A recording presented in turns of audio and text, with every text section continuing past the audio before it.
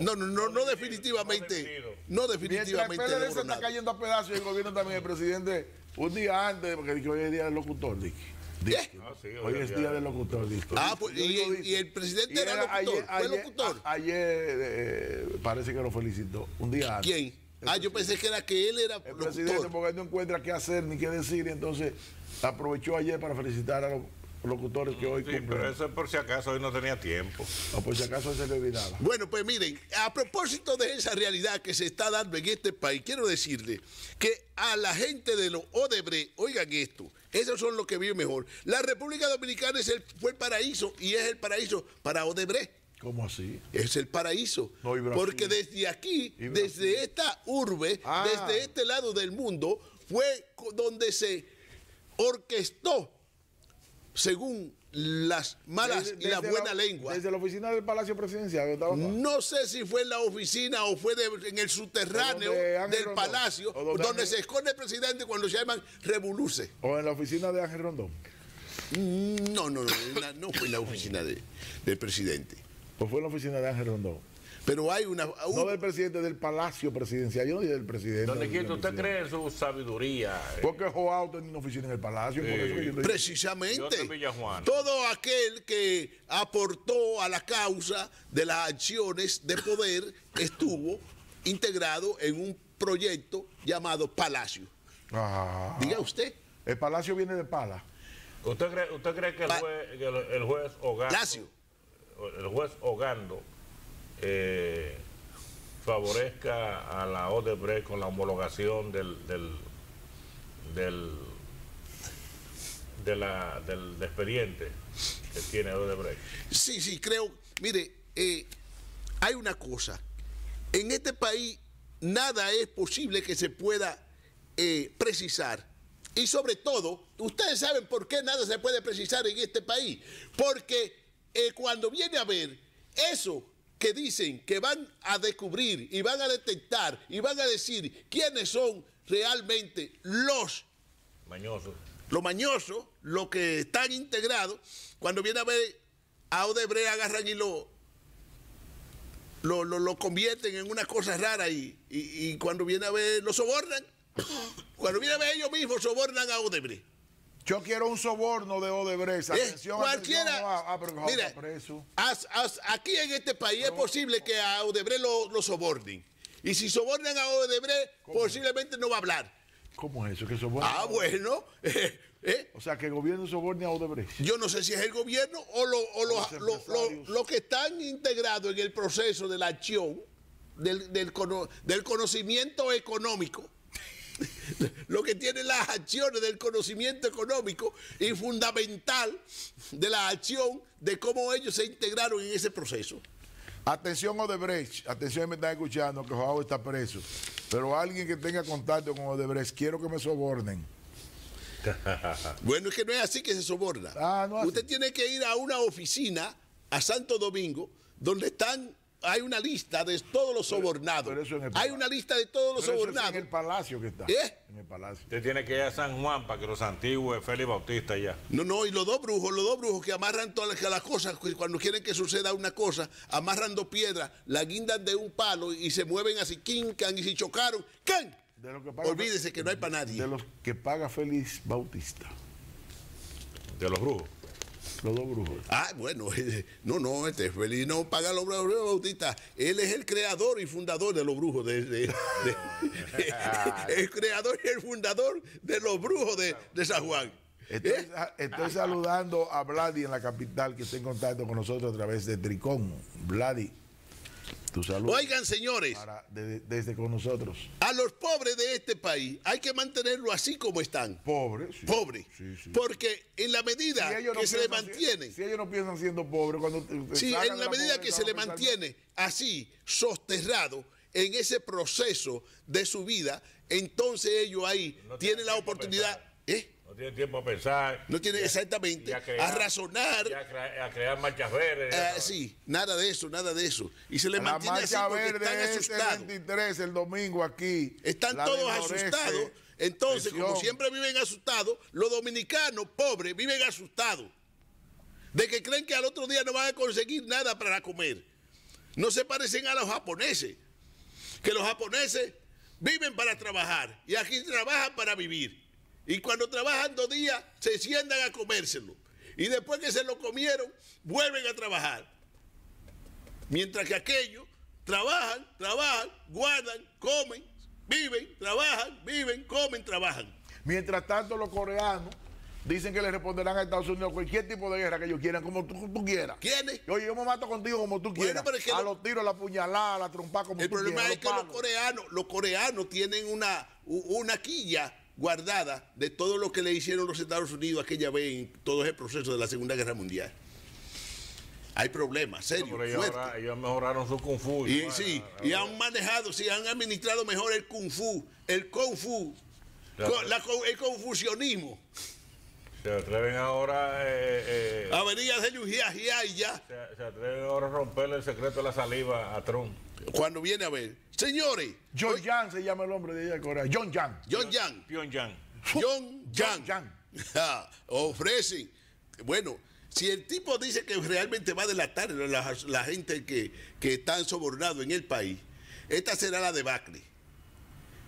Ojalá y no se vayan. ¿Cuántos son los del Cenedrín? Deja de ir, 30 y... 34 quedan.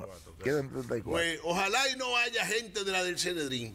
Porque ahí sí es verdad que van ellos entonces a querer sobornar a los Lo que hay es muchos diputados y senadores Sí, y empresarios. ahí sí, ahí sí. Y empresarios que han cogido cuarto por un tubo y siete llaves. Pero aquí no van a meter preso a nadie, porque ya Danilo Medina habló a través de sus eh, No. testaferros, ¿eh? ¿cómo se dice? ¿Qué? De No, sus canchanchanes. no, no. no. Ya José Ramón Peralta dijo que este gobierno, que Danilo Medina no tiene nada que ver con nada de eso y que su No. campaña y su cuarto lo gastaron ellos. El ministerio pagaron- divulgará. Y le pagaron a Joao su cuarto Oh, de aquí. ¿Oyeron? No ¿Oyeron, señores? Esta es única. El ministerio divulgará la pulcritud del Estado, según Ramón Peralta. Ajá, La yo- pulcritud del Estado pero ya te dije que eso lo dijo José Ramón Peralta. en la administración de Danilo Pero eso no fue ahora, eso lo dijo hace Lo Pero que yo, sí- yo en la posición de, de Ramón Peralta haría lo mismo, dijera eso mismo. ¿Eh? Y yo, yo, no, yo no. ¿Eh? Yo no en la posición de José Ramón Peralta y era algo más. Sí, pues claro que sí. Él es lo que dijo una caballadita. Sí, una tontería. No, Para pero que ese hombre gobierno, está... Hay que decir más. ese- él es el que administra el país. Para lo Él que no, le es, a es- él debe decir más. no es Ramón el que administra el país. No, no. Ah, sí, sí. Ah, pues Los entonces. cuartos del país. ¿Eh? El secretario administrativo de la Ah, nación. pues es el que administra el país, ese es el que tiene derecho a hablar. Por eso creo que dijo muy poco, debió decir más. Ah, sí, pues claro, Él estamos de acuerdo. con- yo estoy, que- incluso yo estoy de acuerdo con él. Si yo estuviera ahí en esa ñoña, ¿usted cree que yo de Pero esa dijo- ñoña la voy a soltar así? Pero dijo muy poco, dijo nada más. Por que- eso. Que el gobierno de Danilo está limpio, que no tiene que ver con eso, que esto, que lo otro, que va. Oiga esta, guardia de Maduro siguen proselitismo para que no se caiga Maduro y no quede duro, Porque no vuelva a verde. Pero no se gote. que no gotee, O que no vuelva a verde. que no vuelva a qué. A verde. ¿Cómo que no vuelva a ver? Porque- A verde, verde. Ah, bueno, verde, verde. de Maduro pues, a verde. a verde.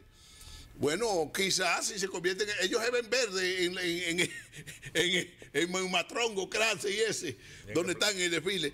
Oigan, un juez federal de Nueva York formula una demanda a Odebrecht por 2.600 millones de dólares. Pues ven acá, Odebrecht, Es una chiquita. ¿la van a quebrar? ¿le? Van a quebrar a Odebrecht. Ay, sí, ¿cómo va a ser que una empresa tan, pobre como esa, una empresa que tiene la, la, la, los ¿Cómo que se elementos... llama? Marcelo Odebrecht, ¿sí que se llama? Sí, eso? sí. Marcelo, cámbiale el nombre a eso y, y salte de ahí, va ahí. Sí, ya. sí, es bueno, es bueno que se, se- para acá, se trabaje. Quiebra, quiebra. ¿Qué? Ah, Deben de- mira, deben tener ellos su villa ahí en Punta Cana. Porque ahora la mayoría de los fugitivos del mundo eh, vienen a parar ahí al este del país. No, no, no. Y hay que Los ver además y a Puerto Plata también. cuán- cuántos hoteles han comprado ellos aquí de esos que están ahí, de todos esos hoteles, que posiblemente sean de los Odebrecht. Lo más probable.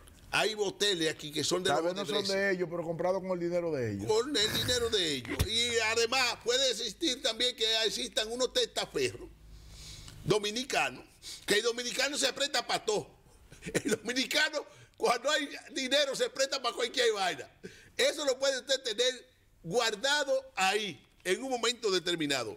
Policía restringe las informaciones sobre la delincuencia. Ahí sí es duro. Eso es verdad, eso es verdad. ¿Eh? Eso es verdad. Ahí sí es duro. Eso es verdad. No se le está diciendo al país lo que está ¿Qué es lo pasando que está pasando definitivamente. la- con los actos delincuenciales que están sucediendo en la Eso es verdad. sociedad dominicana? Con todo y que sacaron di- disque. Yo no he visto aquí en San Francisco una patrulla ¿Eh? mixta de la policía y la guardia. Yo no he visto eso aquí en San Francisco. Yo no lo he visto. Si ustedes lo han visto, díganmelo.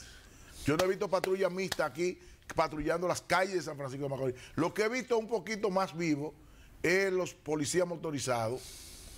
Pero que los policías motorizados lo que andan No, buscando. yo he visto, yo he visto los policías de, de la AME, que son los que andan en No, no, pero eso es otra cosa. Autoridad Metropolitana me es. Pero eso es lo que transporte. andan montados y, y lo- los motorizados son los unos que andan con la cara tapada. Yo tengo una entrevista con el jefe de AME aquí que le hice ayer. ¿Eh? con respecto a, a- a la aplicación de la ley y él me dice a mí que no, que la ley todavía no se está aplicando porque faltan algunas cosas y que en una semana o dos es que van a, a tener eso listo para aplicarse. Entonces aquí se adelantaron al acontecimiento y a todos los infelices que andaban en motocicleta, infelices trabajadores, le dieron ticket dizque por caco, porque, pero yo veo a todo el mundo sin caco aquí.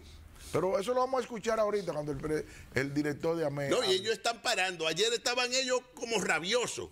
Sí. Ahí parece como que no les alcanzaron los cuartos de Semana Santa que le dieron a ellos, que le tocaban a ellos. No le, no le alcanzaban. Y entonces se pusieron rabiosos y comenzaron a agarrar a todo el mundo.